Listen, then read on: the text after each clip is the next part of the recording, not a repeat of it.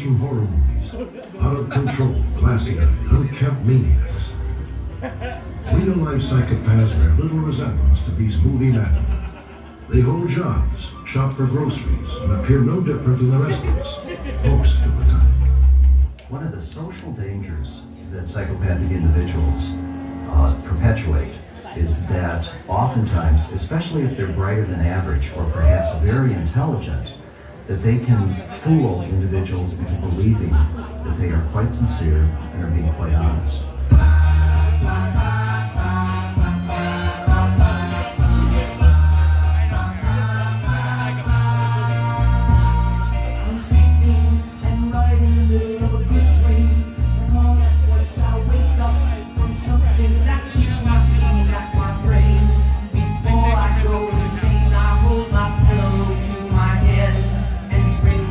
My bed, screaming out the words I dread. I think I love you.